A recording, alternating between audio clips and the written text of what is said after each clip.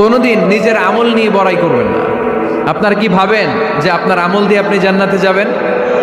কার এরকম ভরসা আছে যে, হুজুর, আমি এত আমল করেছি, আমার আমলের বদৌলতে আমি জান্নাতে ঢুকবো কে কে আছেন? দেখি আল্লাহর অলি আছে এরকম কোন আল্লাহর অলি হ্যাঁ?